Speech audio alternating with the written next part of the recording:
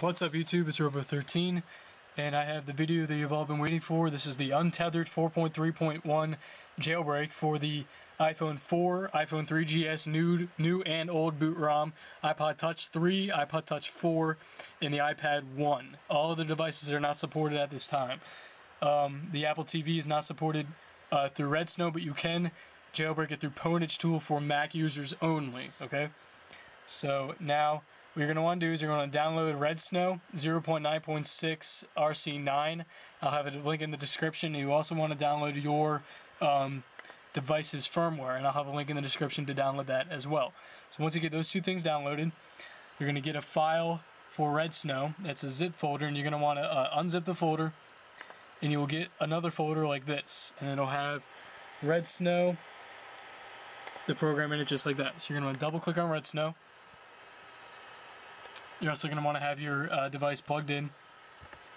So this is going to pop up. It's just going to say browse for your IPSW. So you're going to want to browse for the firmware that you just downloaded. Um, I have it saved in my flash drive. So I'm just going to double click on that. And just to show you guys that I am running the 4.3.1 firmware. Um, right there, 4.3.1. Okay.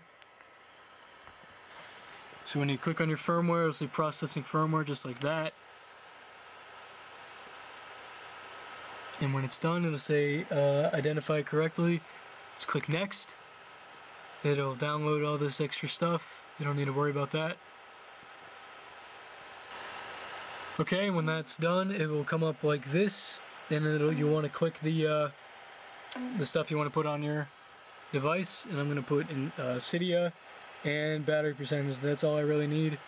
So then when I click next, it's going to want to put me into, it's want to put the uh, iPod into DFU mode. So I'm just going to put the camera down like this and show you guys exactly what to do. So you're going to want to come up and click next and now it's going to say turn off your device and have it plugged in. So I will turn off the device, slide the power off, and have it plugged in through USB.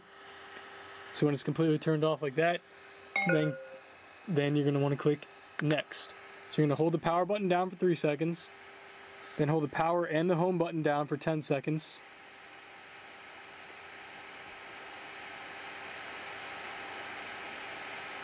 And then release the power button, but keep holding the home button.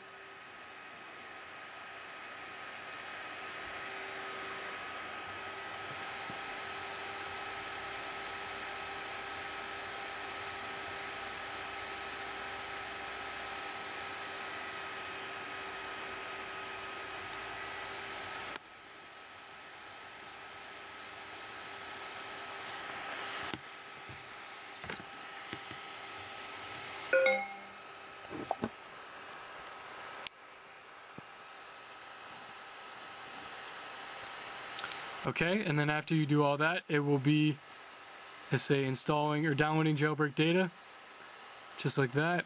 And you're just want to let it sit and let it do its thing, and it will finish just like that. It'll say rebooting, and then it'll say done. You'll have all these files put onto your iPod. You can look at them. They're pretty cool to, uh, to read and stuff. But other than that, you don't need to do anything else. It'll say that the rest of it takes place on your device. So when it's finished jailbreaking, I will come back. Okay, and you're gonna get this pineapple logo just like this, and it'll be installing all the uh, programs and stuff for Cydia and for uh, the jailbreak itself. Um, another thing, you're gonna wanna have to have the uh, newest version of iTunes installed on your computer.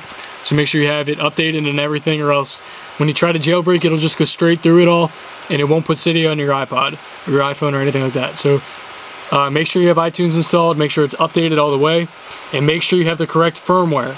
Um, it's pretty easy to download. You can't really mess it up. So I'll put all the links in the description for you. Um, and hopefully it works for you. So when this is done, I'll come back.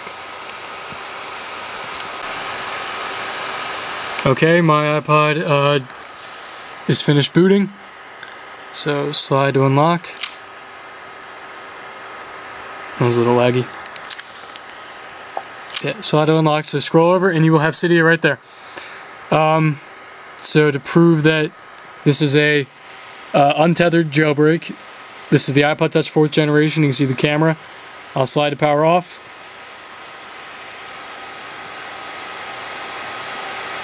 Okay, it's completely off. Now I'll hold the power button back on, turn it back on. And I'm not running any programs, so this is an untethered jailbreak for the 4.3.1 firmware. Again, the devices that are supported are the iPhone 4, not the Verizon wireless one, only AT&T right now. Um, the iPod Touch 4, the iPhone 3GS old boot ROM and new boot ROM, the uh, iPod 3, and the iPad 1. Okay, so scroll over and it just turned back on, so it is untethered. Come over here, turn, click on Cydia, and preparing file systems. Cydia will exit when complete. So, there you go. This is the untethered jailbreak for the 4.3.1 firmware. If you guys have any questions, just post a comment below. Remember to like this video so other people can see it. Uh, subscribe to me for new videos and send me a friend request, alright? Thanks, guys. Also, one more thing that I found on the 4.3.1 firmware, uh, some Cydia packages do not work because 4.3.1 uh, firmware uh, makes it so that they don't work. It's just, that's just how it is, but it's just like when they updated to 4.2.1 or 4.0, um, some of the device or some of the apps and the pro, the stuff in Cydia just did not work. Uh, just give it a few days and it will eventually uh, come back online and it will work. So don't freak out. Um, don't don't think there's an issue or anything like that. It's just that the new firmware messes up some of the apps and some of the programs. So don't worry. They will all be back up and running soon. Um, just give some time. So if you guys have any questions, just post a comment below. And remember to subscribe to me for new videos, alright? And send me a friend request, alright? Thanks, guys.